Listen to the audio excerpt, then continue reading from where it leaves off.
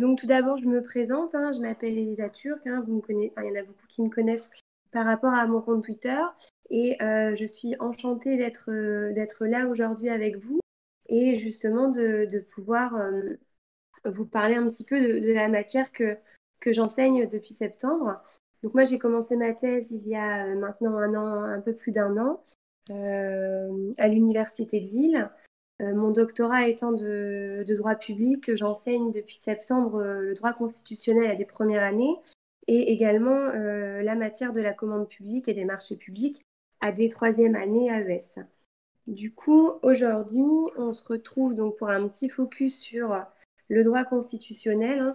Je vous ai évoqué rapidement un petit peu ce qu'on qu entend par constitution écrite et coutumière, et ensuite constitution souple et rigide avant d'entrer euh, dans la question qui était posée par rapport au régime parlementaire. Alors du coup, petit focus sur la différence entre euh, constitution écrite et, euh, les constitutions dites coutumières. Hein.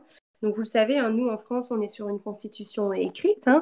Notre constitution, à l'intérieur, tout figure dans un seul texte à savoir nos droits et nos libertés, euh, les pouvoirs publics et ensuite euh, au niveau des, de la formation de, notre État.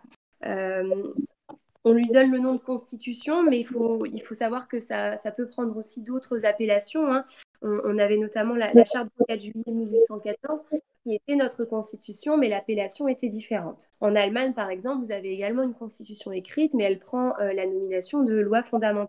Euh, à l'opposition, hein, vous avez les, constitutions coutumières que vous retrouvez. Euh, le grand exemple, c'est vraiment la constitution anglo-saxonne hein, en, Grande-Bretagne, où en fait toutes les règles qui euh, prédominent euh, sont non écrites et proviennent de la coutume.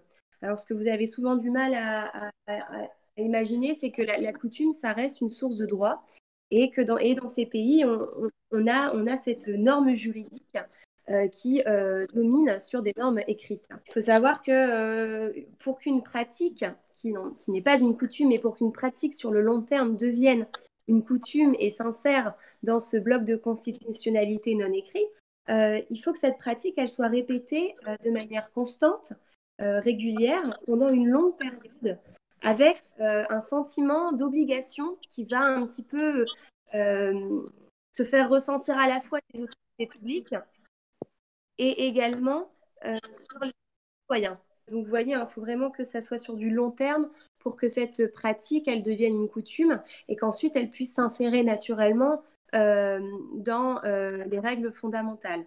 Alors quel est l'avantage d'une constitution coutumière par rapport à une constitution écrite? L'avantage, c'est vraiment la, souplesse d'adaptation. Le, fait qu'on puisse facilement adapter en fonction des événements les règles non écrites. Cependant, euh, chaque avantage a bien évidemment euh, une limite. Hein. Euh, J'estime qu'une constitution coutumière, euh, elle est assez imprécise et c'est assez difficile de savoir quand une règle démarre et quand elle s'applique. Alors, il faut savoir que pour terminer sur cette petite distinction constitution écrite et non écrite, qu'une une constitution non écrite peut parfois euh, avoir en renfort des textes écrits qui viennent un petit peu s'ajouter euh, aux coutumes.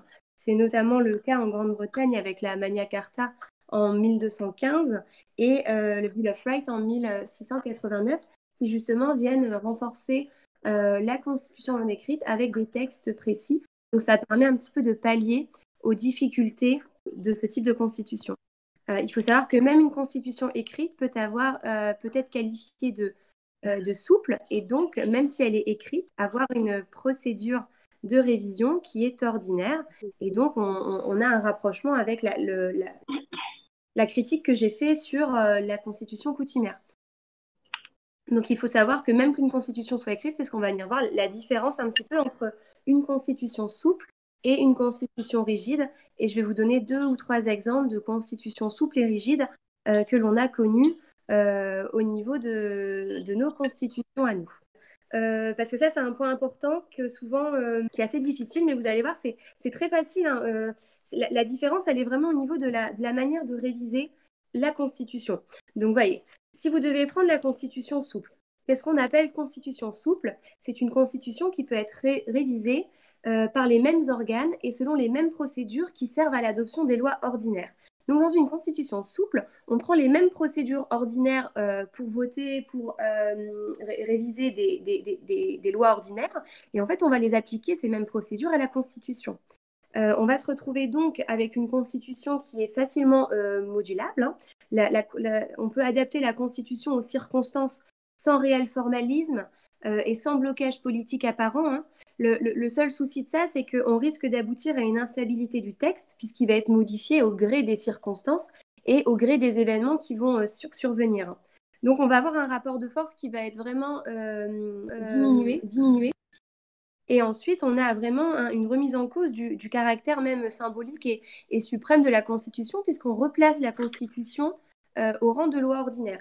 Donc, vous voyez, en fait, quand on est dans le cadre d'une Constitution dite souple, en fait, on va replacer le bloc de constitutionnalité au même niveau que le, bloc législatif. Du coup, on va vraiment les mettre à pied d'égalité et il n'y aura plus du tout de, hiérarchie entre, ces deux normes et on va tomber en fait dans les mêmes procédures de révision.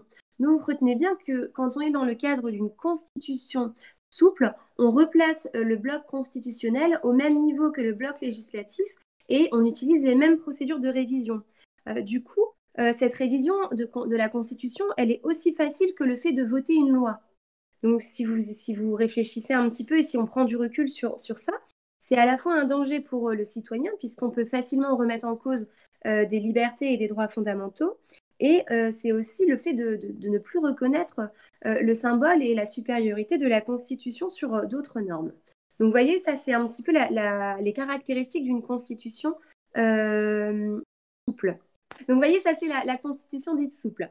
Euh, il faut savoir, si vous devez avoir des exemples, que vous avez la, charte du 4 juin 1814 et celle du 14 août 1830 qui euh, ne prévoyait aucune procédure de révision. Donc, on est vraiment dans deux exemples de constitution souple. Et on a également les lois constitutionnelles de 1875 qui, elles également, prévoyaient une révision ordinaire de la Constitution. Donc pour résumer, vraiment, Constitution dite souple, c'est vraiment une procédure de révision ordinaire comme une loi. On traite la Constitution comme une loi. Alors que la Constitution rigide, hein, Constitution rigide, vous voyez dans le bloc de, dans la hiérarchie des normes, euh, quand on est face à une Constitution rigide, on la place vraiment au sommet parce qu'on va la distinguer du bloc législatif et des autres blocs. Du coup, une, constitution dite rigide, hein, elle, ne peut être révisée que par des organes distincts, euh, selon une procédure différente de celle euh, dont on se sert pour l'adoption des lois ordinaires. Retenez bien, hein, actuellement, nous, on, ressort de, vous pouvez ressortir l'article 89 de la Constitution qui justement vous, euh, vous indique l'initiative de la révision constitutionnelle et ça prouve bien que notre Constitution actuelle rigide. Du coup, dans une constitution rigide, vous avez vraiment, on préserve en fait de modifications trop fréquentes la constitution et on conserve son statut, de, son statut beaucoup plus spécifique et sa primauté. Donc retenez bien, la constitution dite rigide, on révise selon une procédure différente, c'est même une procédure extraordinaire de celle euh, des lois par exemple, et euh, on, assure un peu euh, une certaine durabilité de la constitution et on reconnaît cette supériorité. Et ça évite justement des dangers, ça protège le citoyen et ça permet d'éviter des décisions prises trop rapidement. Alors, en France, on est dans, le cadre, hein, je vous l'ai dit actuellement, d'une constitution dite rigide, mais il faut faire attention euh, à ne pas tomber dans l'excès.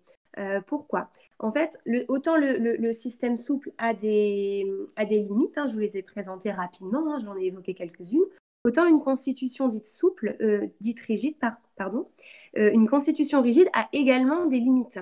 Euh, pourquoi? Il faut qu'on trouve un certain équilibre entre la rigidité et la souplesse.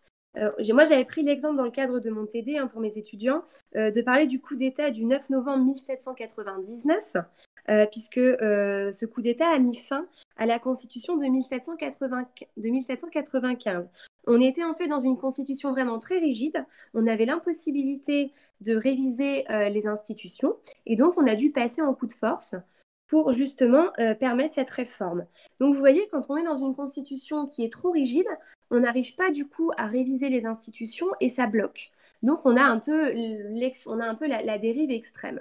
Donc voilà, si vous avez un moment à, réfléchir sur ces formes de constitution, euh, ne soyez jamais, ne soyez jamais à 100% d'accord avec le type de constitution souple et à 100% d'accord avec le type de constitution rigide. Tendez toujours vers de la nuance en cherchant un petit peu les limites euh, et en, voyant un petit peu euh, les améliorations qu'on pourrait apporter en proposant pourquoi pas un système hybride.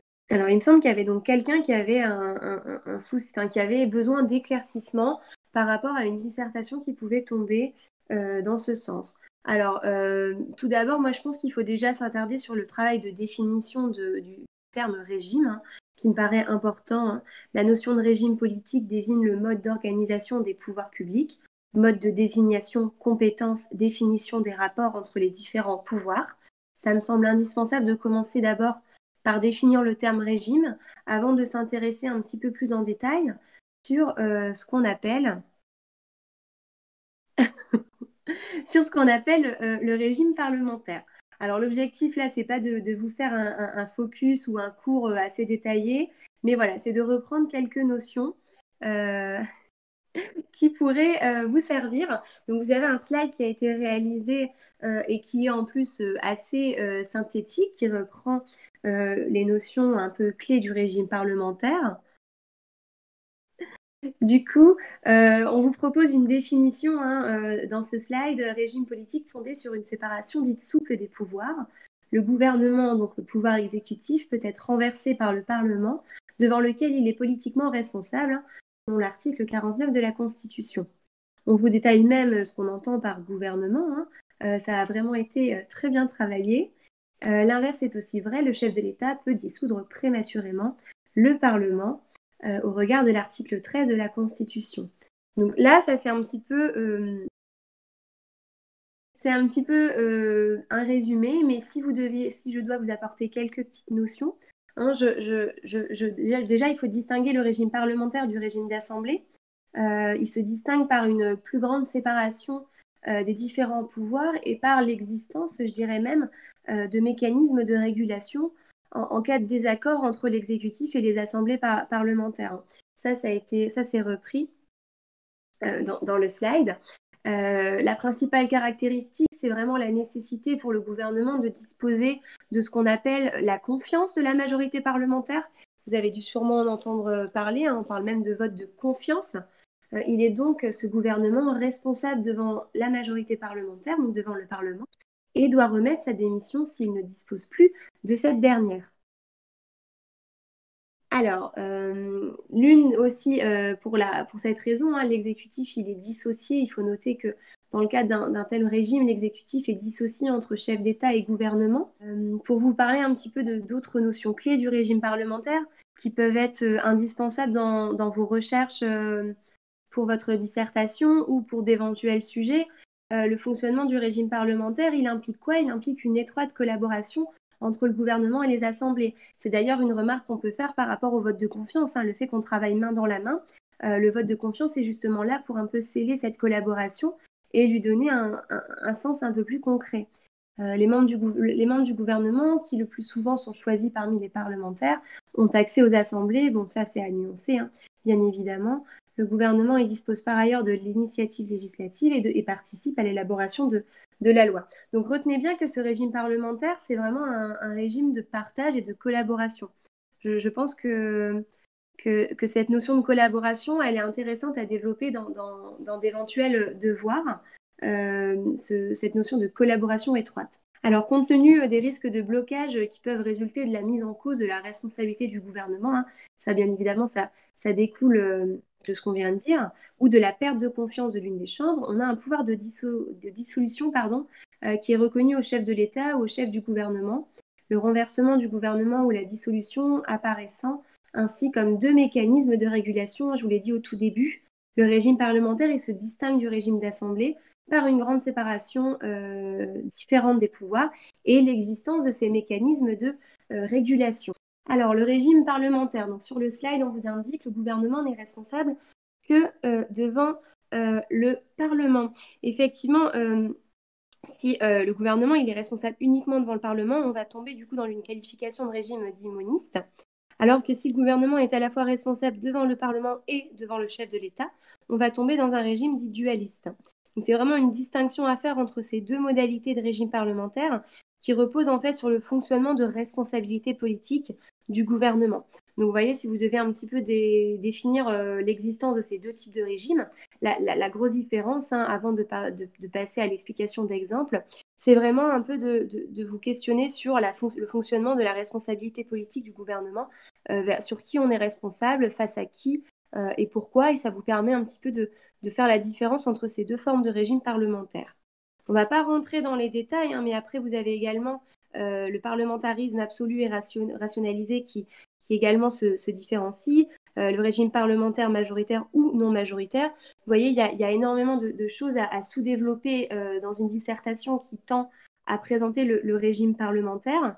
Le tout étant, je vous dis, c'est vraiment de commencer par le début, hein, de, vous questionner d'abord sur qu'est-ce que le régime, euh, qu'est-ce qu'on met derrière cette notion-là et qu'est-ce qu'on va aller chercher à, à analyser c'est pas de présenter euh, bêtement, si je puis me permettre, euh, les notions que vous allez avoir en cours, mais c'est vraiment de, tendre vers une analyse ou une réflexion qui est un peu poussée sur qu'est-ce qu'on entend par régime parlementaire, comment il se met en place, euh, quelles sont les différences qu'on retrouve au sein même de ce régime et par rapport à, d'autres régimes.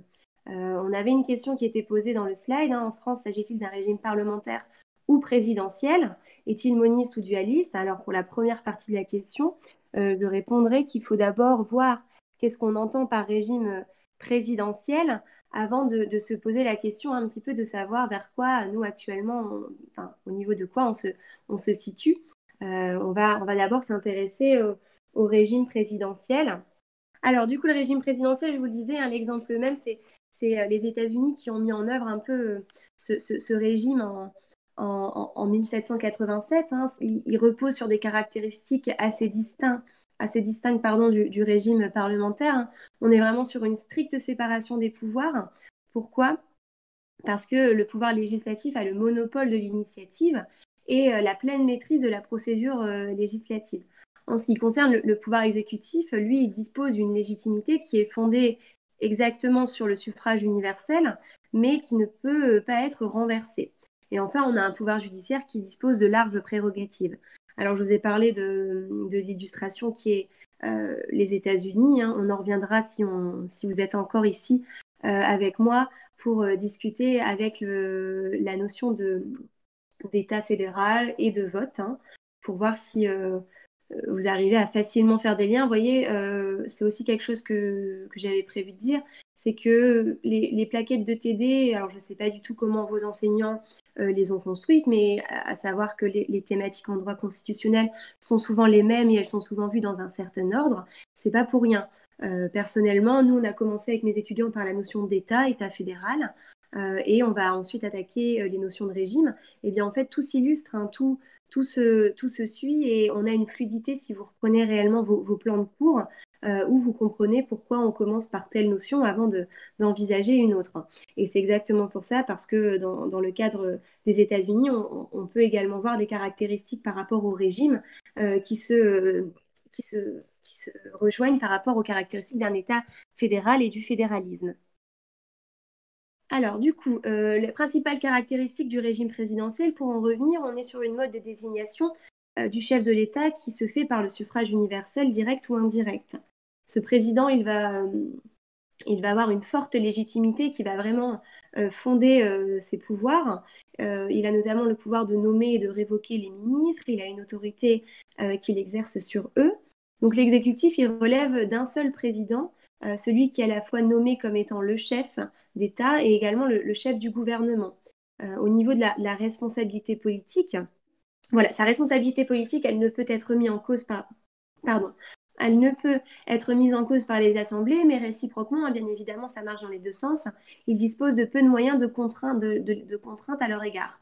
En effet, il ne peut pas dissoudre et dispose seulement d'un droit dit de veto sur les textes législatifs. Vous pouvez déjà voir hein, entre, ce que j'ai dit précédemment et, ce que je viens d'évoquer comme caractéristique du régime présidentiel, des différences.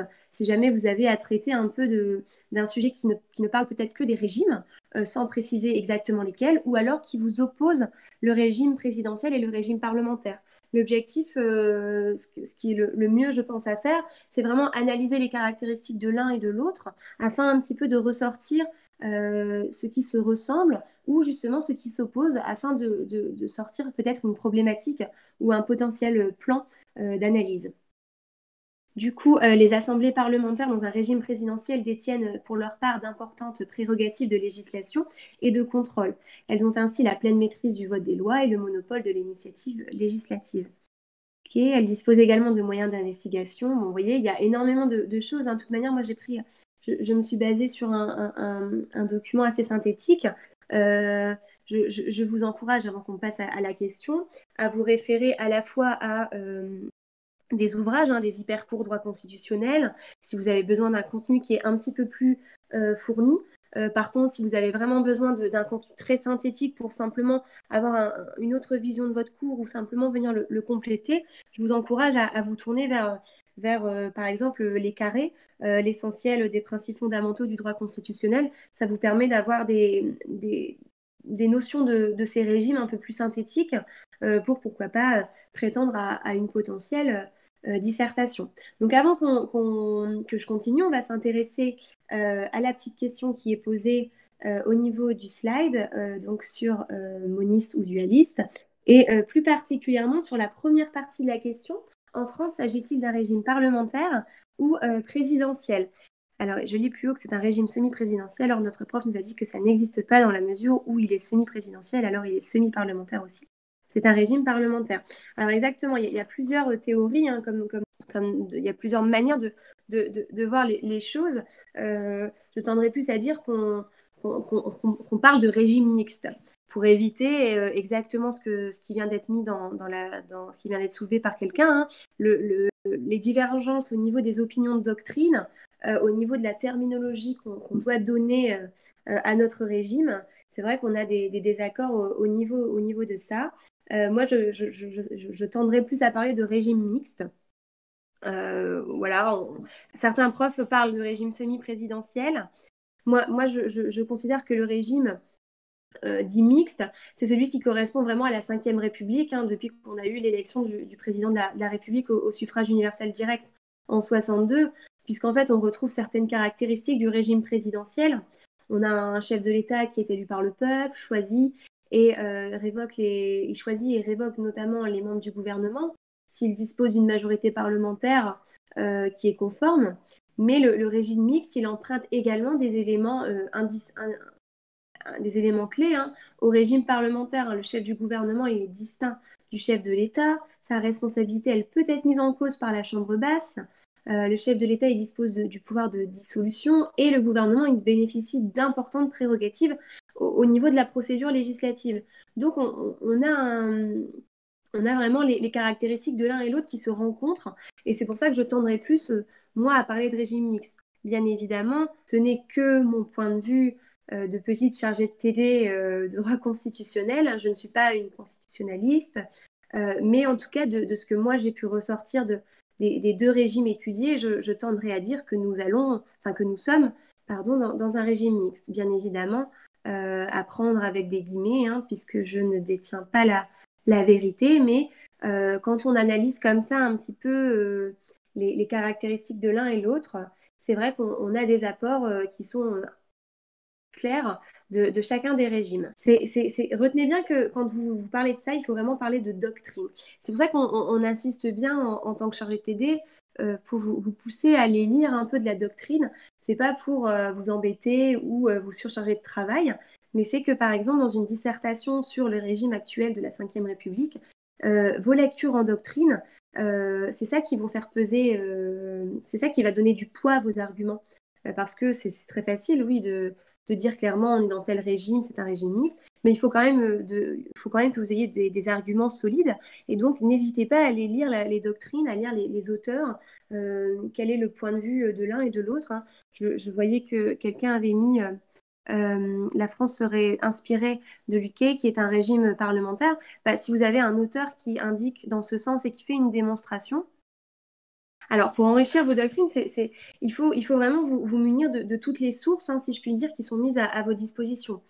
Euh, c'est à vous euh, à aller un peu chercher euh, la notion qui vous, qui vous intéresse. Le, site du Conseil constitutionnel, il y a énormément de rapports. je sais que j'avais préparé, moi, ma séance pour mes étudiants sur la notion de la révision de la Constitution. Et j'avais ressorti un rapport du Conseil constitutionnel qui présentait un petit peu l'actualité des articles indispensables par rapport à, la thématique que, je souhaitais. C'était un très bon support qui a permis d'enrichir ce que j'aurais pu trouver dans un manuel. Voilà, le, travail de doctrine, c'est un petit peu le travail de recherche, euh, et j'en profite pour caler un petit peu mon, euh, pour caler un petit peu ça. Hein. Si vous êtes intéressé, et alors oui, vous êtes en première année, ça peut paraître loin, ça peut paraître difficile, et euh, c'est vrai qu'on pense pas à ça tout de suite, mais prenez l'habitude d'aller fouiller un petit peu, de, de farfouiller dans, dans, toutes ces ressources, de prendre l'habitude d'aller compléter vos cours et vos TD. Euh, et en fait, cette, euh, cette recherche de doctrine, c'est un petit peu des prémices que vous retrouverez arriver en, troisième année, en master 1 ou en master 2 pour la recherche. Et euh, si vous aimez déjà ça en première année, allez fouiner un petit peu dans toutes ces ressources, qui est quelque chose de très enrichissant et de très épanouissant. Alors, selon vous, le régime français est semi-parlementaire? Alors, on ne peut pas dire ce que j'ai pas dit. J'ai pas pas dit que c'était un régime semi-parlementaire. J'ai vraiment parlé de régime mixte, en, indiquant vraiment qu'il y a des caractéristiques du régime parlementaire. Hein. Je vous ai dit, le, régime, il emprunte des, éléments du régime parlementaire. Chef du gouvernement distinct du chef de l'État et, et, la responsabilité, elle peut être mise en cause par la Chambre basse. Le chef de l'État dispose de pouvoirs de dissolution et le gouvernement bénéficie d'importantes prérogatives dans la procédure législative. Voilà, j'ai vraiment dit, voilà, mixte. Euh, vous voyez, ça, c'est euh, des éléments euh, que j'ai rattachés du, régime parlementaire qui, sont, qui coïncident avec la Ve République. Mais j'ai également dit qu'on avait des caractéristiques du régime présidentiel actuellement. Le chef d'État est élu par le peuple, il choisit, il révoque les membres du gouvernement. S'il dispose de la majorité parlementaire conforme, il peut le faire. Donc, vous voyez, il y, a pas mal de, choses comme ça qui. Donc, pour, pour terminer sur la partie régime, hein, moi, ce que je conseille de, faire si vous avez un sujet de dissertation qui, tombe dans ce sens, c'est d'abord de vous questionner sur les caractéristiques des différents régimes, de faire euh, des petits brouillons avec euh, quels sont les, éléments indispensables, de les mettre un petit peu euh, en parallèle avec un autre régime et de ressortir un petit peu des caractéristiques qu'on retrouve actuellement si votre sujet porte sur le régime de la Ve République. Alors, on va parler un petit peu de, la notion de, souveraineté. J'aimerais juste faire un petit point alors, j'irai peut-être pas euh, dans le sens de la. Enfin, je vais pas juste me concentrer, me, concentrer sur euh, le petit paragraphe du slide, mais je, vais plutôt vous parler de, la notion de souveraineté et des différents types de souveraineté qu'on a connus, avec des caractéristiques, afin que vous ayez un petit peu en tête euh, certaines notions et justement de, voir actuellement en quoi on, enfin, vers quoi aujourd'hui on, se situe en matière de, souveraineté.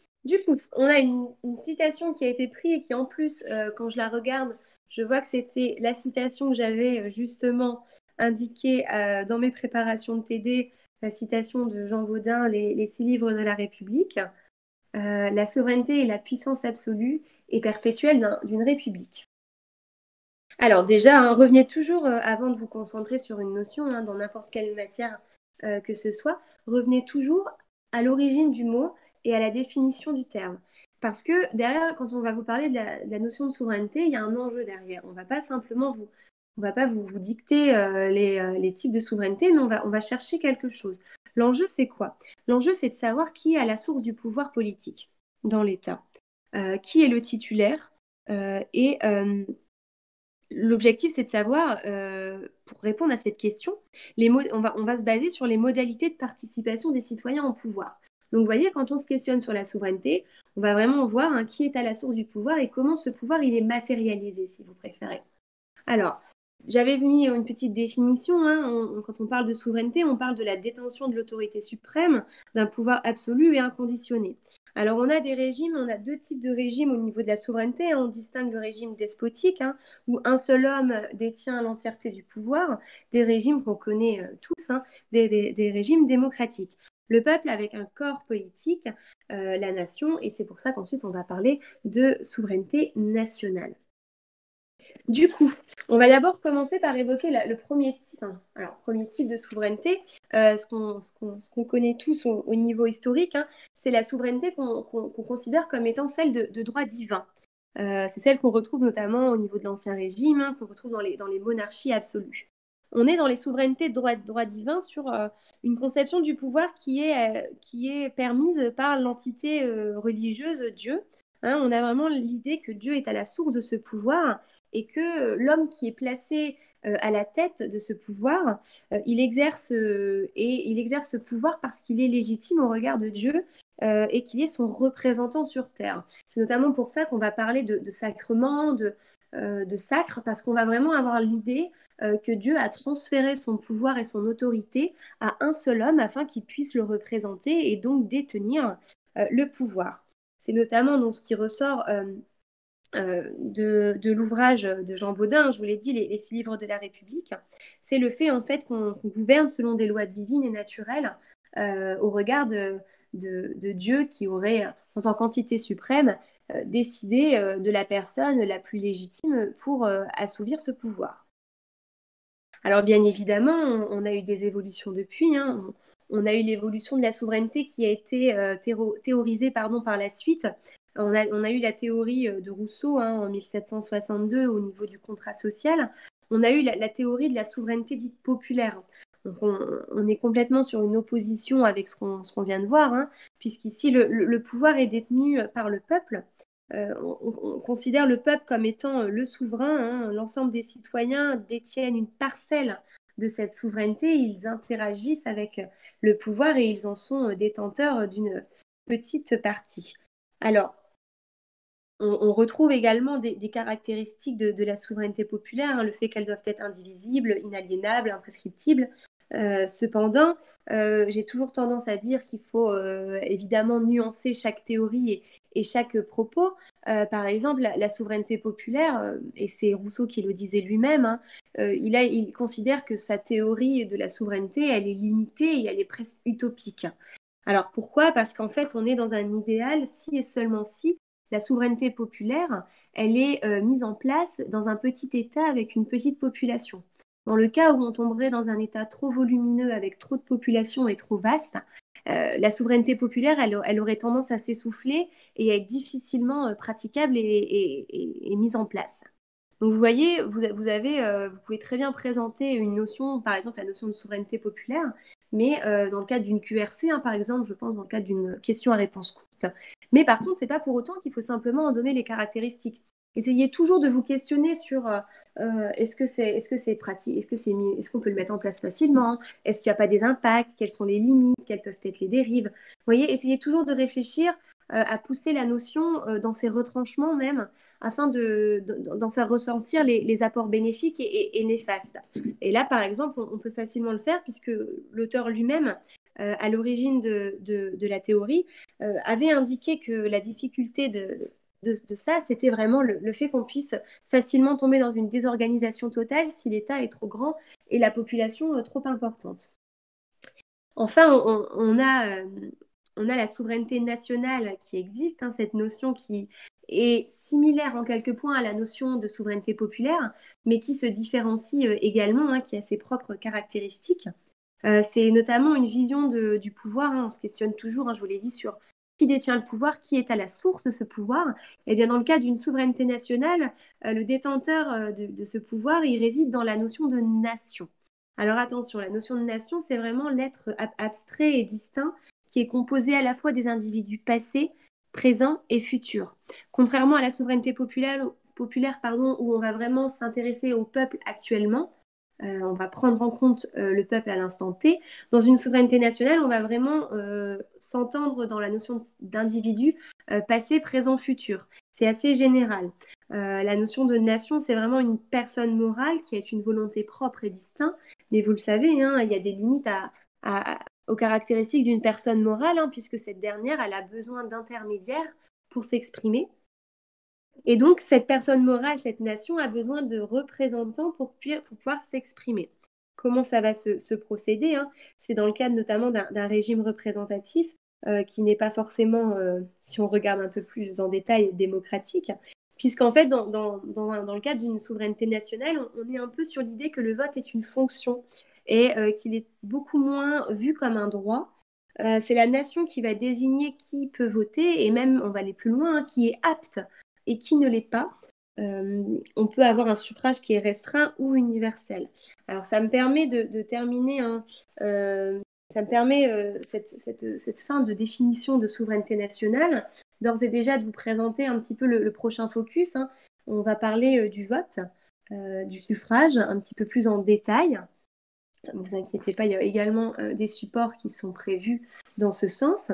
Mais si je pouvais juste rajouter quelque chose pour terminer euh, actuellement, euh, on est également sur une conception hybride actuellement de, la souveraineté, hein, puisque on parle de souveraineté nationale, mais appartenant au peuple et non plus à la nation.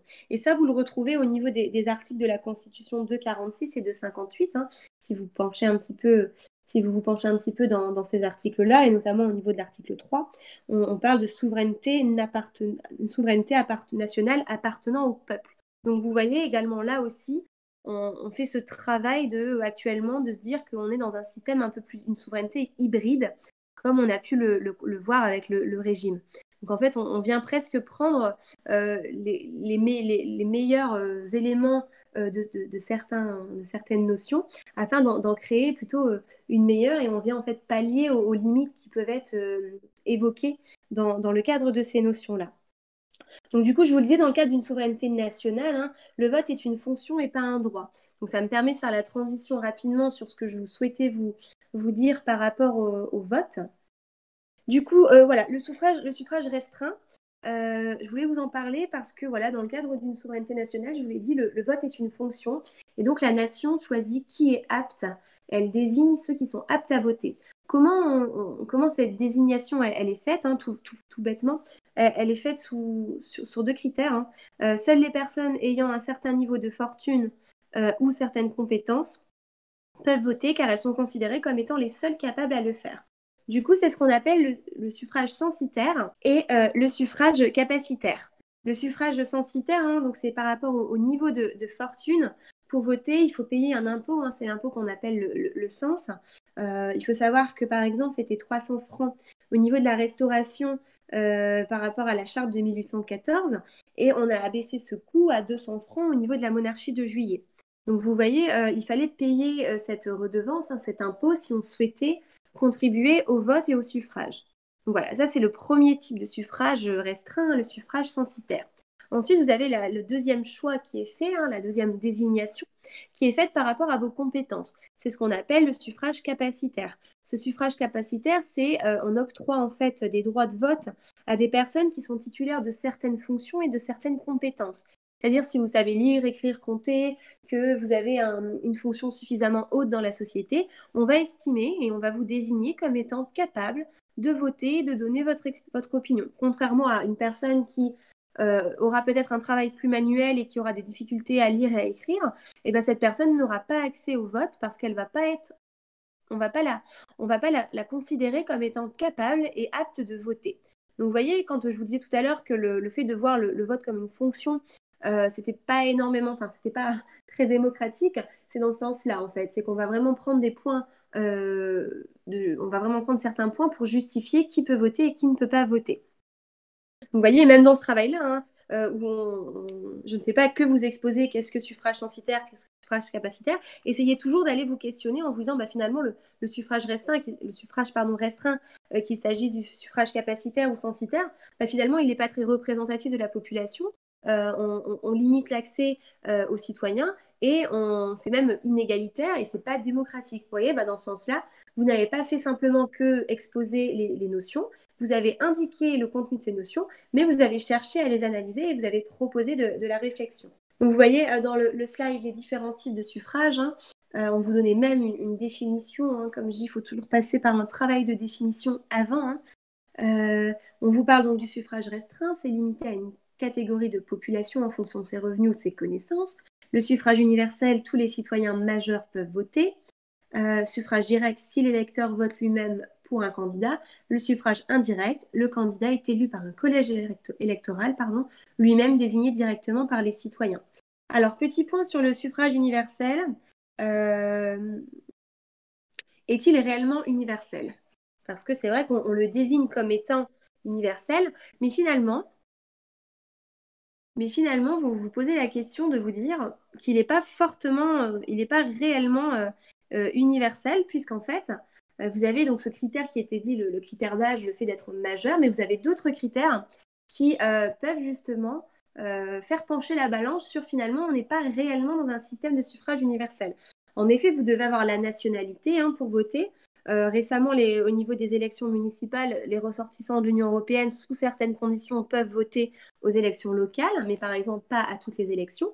Vous avez également le, critère de, capacité mentale, hein, le fait de faire preuve d'un minimum de discernement pour pouvoir accéder au vote, le, fait qu'il faut avoir une absence euh, au niveau du, il faut avoir un casier judiciaire euh, qui ne vous empêche pas de le faire, c'est-à-dire que le, juge peut vous priver de, votre droit de vote par jugement. Euh, et notez également que le sexe a été pendant longtemps euh, un critère assez, assez, assez contrebalancé, puisque la condition d'octroi du droit de vote a été pendant longtemps uniquement accordée aux hommes, hein. le XXe siècle étant le, siècle vers la reconnaissance du droit de vote aux femmes. Notez bien que le suffrage universel masculin euh, il date du 5 mars 1848 en France et que les femmes ne peuvent voter que depuis l'ordonnance du 21 avril 1944. Donc vous voyez, au final, c'est universel, hein. tout le monde a le droit à voter, hein, tout le monde sans discrimination, mais on fonde l'universalité du suffrage sur des critères qui eux-mêmes peuvent exclure certaines personnes du droit de vote. Donc, vous voyez, même quand on vous parle de quelque chose, d'une notion qui pendant longtemps vous est apparue comme étant oui, et c'est vrai, tout le monde peut voter, et eh bien quand on creuse un petit peu, on regarde, on, regarde que les critères qui fondent ce suffrage, euh, finalement, euh, excluent certaines personnes euh, de ce droit. Donc, vous voyez, toujours essayer de vraiment. oui, vous pouvez vous faire. On peut se faire priver du droit de vote par, euh, par euh, les juges. Euh, notamment, je prends l'exemple en Belgique. Hein, en Belgique, vous le savez, il y a le droit de vote obligatoire. Vous êtes obligé d'aller voter.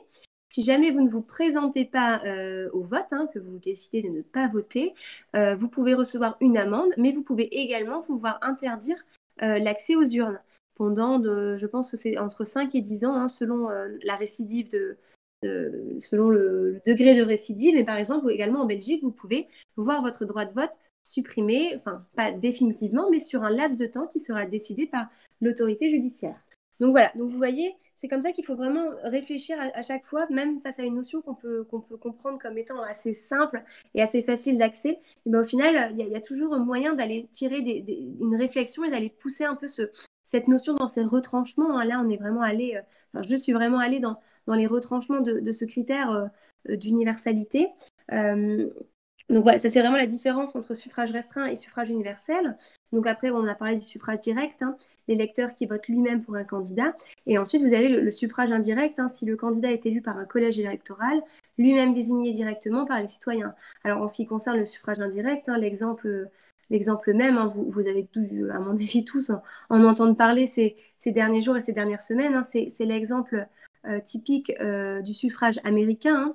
le fait que euh, les candidats sont élus par un collège électoral et ce collège électoral est lui-même élu par les citoyens. C'est assez compliqué pour nous de concevoir une vision aussi structurée du suffrage, puisque nous, nous votons directement pour un candidat et ça se termine ainsi.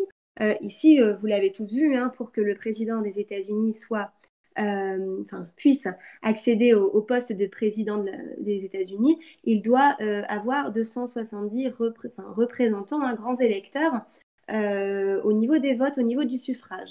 Et donc, en fait, les citoyens désignent ce, corps, ce collège électoral qui lui-même ensuite désigne un candidat. Donc, vous voyez, vous avez vraiment possibilité, si au niveau de votre semestre, de vos galops d'essai ou d'examen terminal, un sujet qui tombe sur les types de suffrage, euh, surtout, n'oubliez pas de parler en matière de suffrage indirect de l'exemple des États-Unis.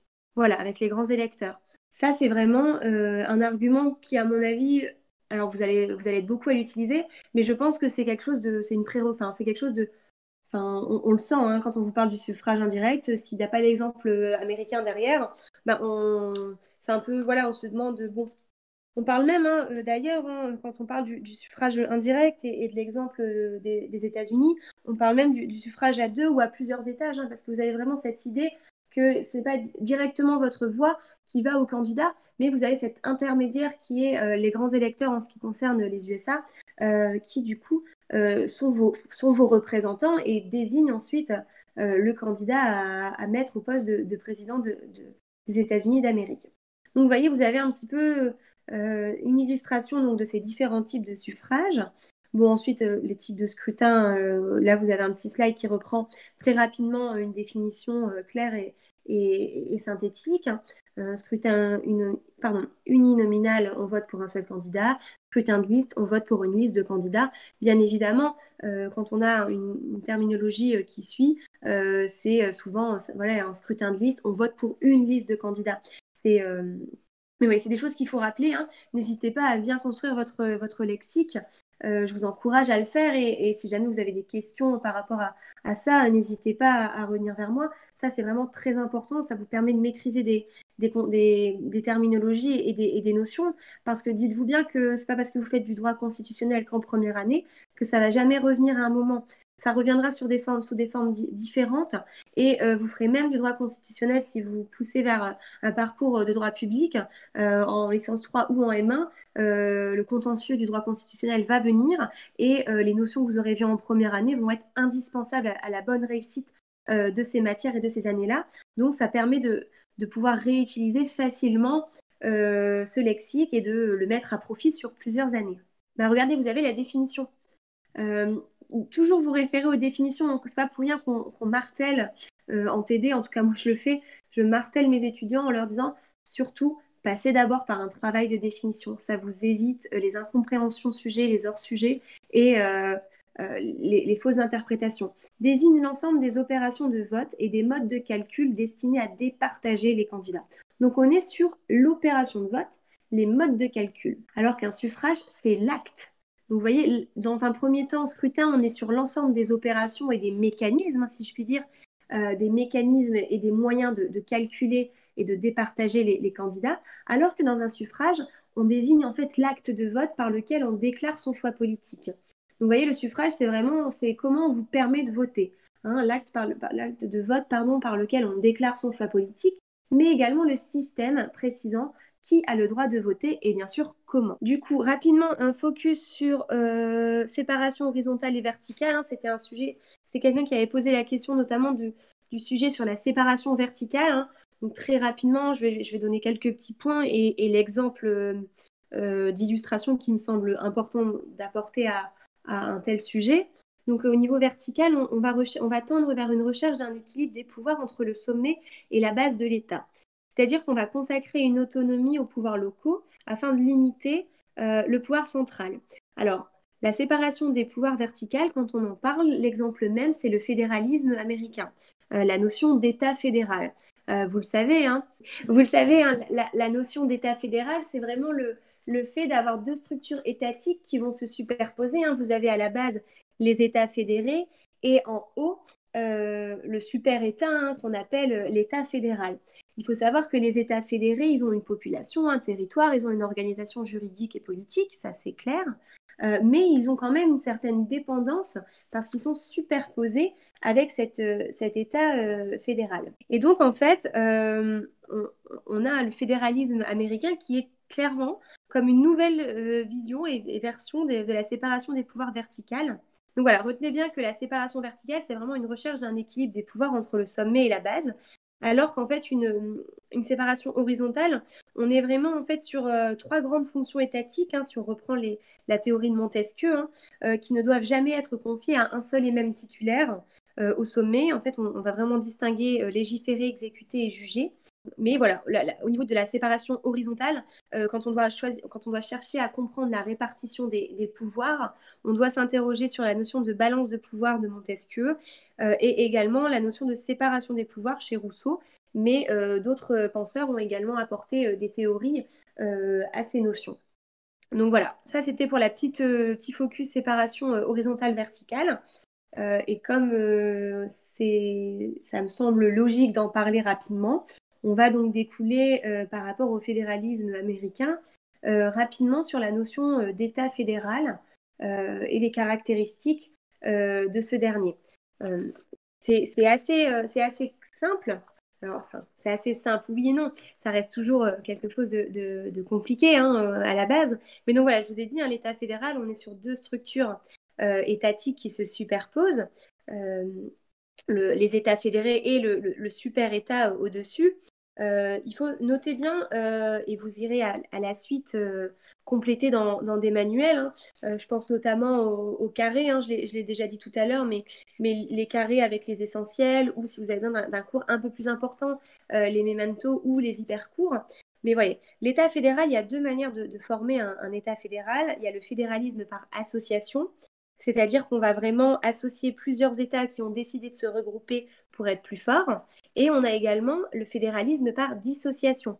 La naissance, euh, de l'État euh, fédéral va se faire parce qu'on a des tensions autonomistes à l'intérieur d'un État unitaire. Et donc, on va décider de former de passer d'un État unitaire à un État fédéral afin de doter euh, des entités locales de plus d'autonomie et éviter qu'elles se rebellent et que l'État éclate. Donc ça, c'est les deux petites euh, précisions sur comment on arrive à un État fédéral.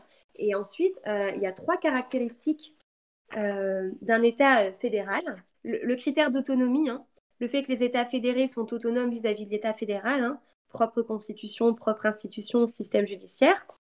Mais il faut savoir que la souveraineté, elle est quand même partielle, hein, puisque bien évidemment, c'est une compétence qui est partagée avec le super-État. Et vous le savez, l'État fédéral a des prérogatives beaucoup plus euh, imposant que l'État fédéré, donc autonomie des États fédérés, certes, mais à nuancer. Ensuite, la participation, hein, euh, le, fait que, euh, les, le fait que les États fédérés doivent participer au fonctionnement de l'État fédéral, hein, en ce qui concerne la modification des, cette modification, l'élaboration des lois fédérales.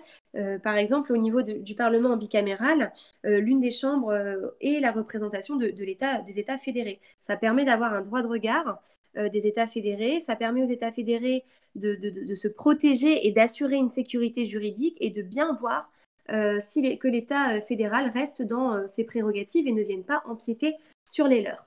Et enfin, je vous l'ai dit, vous avez ce principe de superposition, hein. le fait qu'on ait deux ordres juridiques distincts, l'ordre juridique fédéral et l'ordre juridique fédéré, avec bien évidemment une supériorité du droit fédéral qui est bien évidemment consentie euh, dans le cadre de cette construction étatique.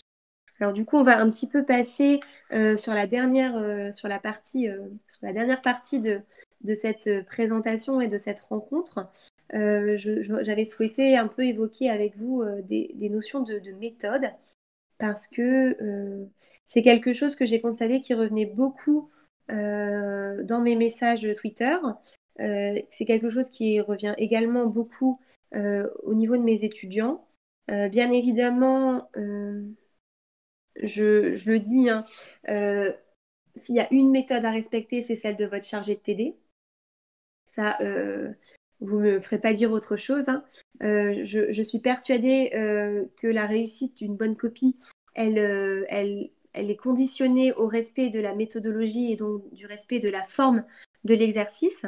donc, je vous encourage déjà vivement à analyser et à euh, travailler avec les, supports euh, pédagogiques euh, que vos chargés de TD ont pu vous, mettre à votre disposition, enfin, ont pu vous donner, parce que c'est quelque chose qui est très important de se focaliser sur la méthode. Les, cinq étapes qui sont, mises, sur le premier slide, ce sont des étapes de l'introduction accroche, définition, contexte, problématique et annonce de plan. Donc en fait, ces cinq étapes-là, c'est celles que moi, euh, je donne à mes étudiants euh, parce que j'estime qu'une introduction, euh, elle doit se faire en cinq temps, en cinq paragraphes, et que ça permet d'éviter, en suivant cette méthode, d'éviter les hors-sujets. Pourquoi? La phrase d'accroche, elle vous permet de trouver une actualité, une citation ou un arrêt en lien avec le sujet. Ensuite, vous faites un travail de définition. comme tout à l'heure, je vous ai dit, avant de vous lancer sur régime présidentiel, ben, demandez-vous d'abord qu'est-ce qu'un régime? Pareil pour souveraineté, quel est l'enjeu derrière la notion de souveraineté Donc le fait de définir vos termes, ça vous permet d'éviter le hors-sujet. C'est tout bête, mais euh, vous avez un sujet qui parle de la... Le sujet, c'est la politique. L'attendu ne sera pas le même que si le sujet, c'était le politique ou les politiques. Pareil avec la notion d'État. Si, si, le mot État prend une majuscule ou n'en prend pas, le sujet derrière n'est pas le même. Donc si vous, si vous, si vous évincez ce travail de définition ou si vous le bâclez, vous pouvez tomber très rapidement dans des hors-sujets et vous retrouver avec une note qui finalement ne reflète peut-être pas vos efforts et, votre travail. Donc la, la définition, ça c'est très important. Ensuite, troisième paragraphe, le contexte. Il faut replacer toujours le sujet dans son contexte historique, actualité, euh, pourquoi il y a de l'intérêt à euh, se questionner sur un tel sujet. Ça permet également déjà de, démarrer des pistes de réflexion pour vous. Ensuite, problématique et annonce de plan. Ça, ce sont les caractéristiques classiques d'une introduction pardon, euh, de la dissertation. Hein.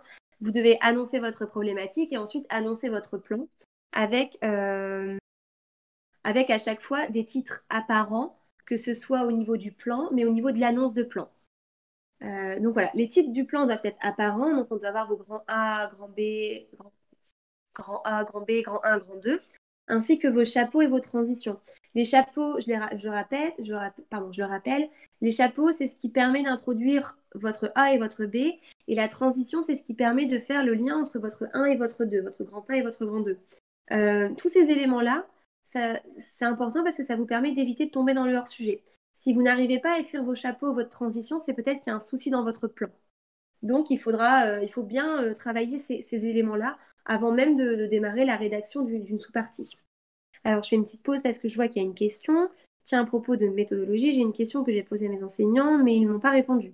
On a un cours de méthodologie qui nous donne donc euh, tout ce qu'il faut savoir, les bonnes pratiques, les plans à suivre, mais dans tous les autres cours, les méthodologies sont différentes qu'à chaque. Oui, je m'étais vraiment rendu compte qu'il y avait une différence entre la méthode de ma chargée de TD en droit européen et en droit international et que euh, j'avais, j'avais du coup, je m'étais loupée en, pensant bêtement pouvoir appliquer la même méthode à, une matière.